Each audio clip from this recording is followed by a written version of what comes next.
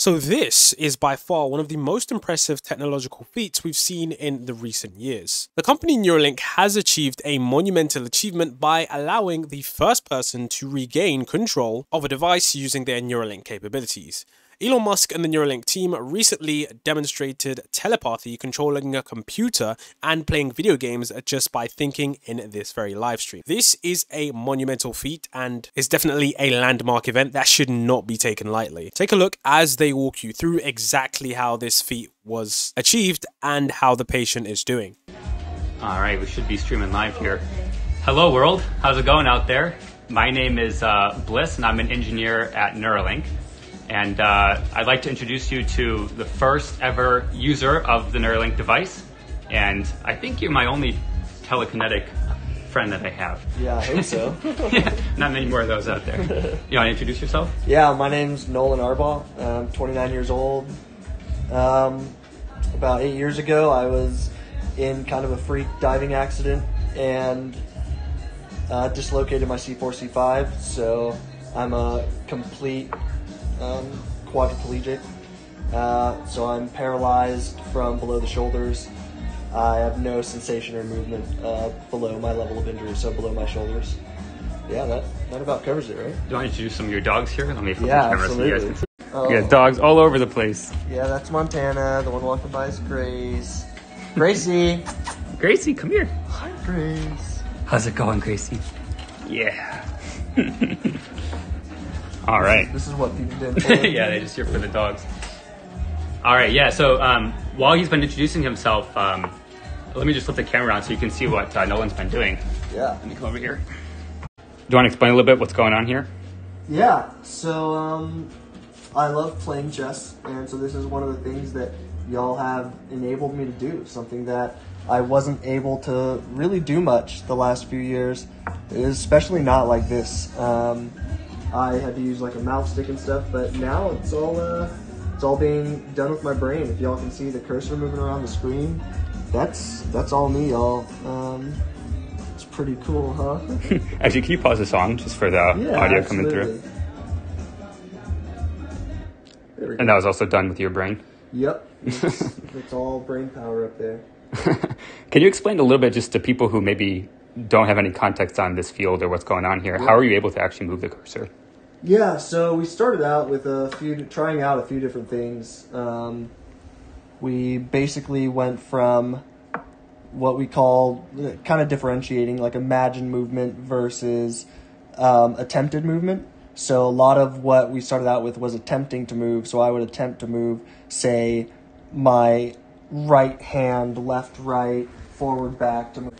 And um, from there, I think it just became intuitive for me to start imagining the cursor moving. Um, basically, it was like uh, using the force on a cursor, and I could get it to move wherever I wanted. Just stare somewhere in the screen, and it would move where I wanted it to. Um, which was such a wild experience. This guy wants to know if you feel like a wizard. yeah, right. um, it's it's it's crazy. It really is. Um, it's so cool. I'm so freaking lucky to be a part of this and stuff. I mean, I just every day it seems like we're n- learning new stuff, and uh, I just can't even describe how how cool it is to be able to do this. Do you want to um, briefly talk about a little bit? Um, I, I guess what have you been using this for outside of these sort of research sessions, or when you're just playing chess? What are some other things you've been getting value from this from? Yeah, so um, one of the first times y'all gave me complete control over this, I actually stayed up until, geez, I don't know, like 6 a.m. playing Civilization 6.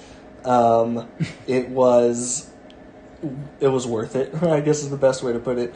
It was awesome. I, I had basically given up on playing that game just because of how Mm, I mean, it's a big game, and the amount of time that it takes to sit in on it is it's just a lot, and I have to worry about a lot of things, getting pressure sores and things like that. So I just wasn't really able to play it as much as I wanted to, and y'all gave me the ability to do that again, and I played it for geez like eight hours that day. Um, so I do that. I It's like read it's sometimes. 6 p.m. to like 2 a.m. or Yeah, like, it was a lot. I'm giving you all my bad habits, man. yeah, I know, right? Um, yeah, it was awesome. So I did that. I read. I like learning languages. I'm learning like Japanese right now. I'm learning a bit of French. Um, Maybe for, for the audience who isn't super familiar with um, Mm-hmm. assistive technology, why couldn't you play Civ before? What was tricky about that, or what, what was about the Neuralink that made that possible for you? Yeah, so one of the big things, honestly, was that um, the was oh, I think I just got checkmated. Um, um, the only way I could play it was through uh, pad, and that didn't allow me to play online at all. So that kind of sucked to begin with. Um, but uh, I Would you play that like at 2 a.m. before? Or what was the Oh no, restriction there was no way. There was no way for me to do that. Um, because when I'm sitting up playing on, say, like my iPad or something, I need complete help from, say, my like parents or something to do it, um, and uh, I just didn't have that capability um, to like keep them up all night. Uh, that's just not something I would ever want to do. So basically, I would have to go down when everyone went to bed in my house, my brother, my parents, something like that.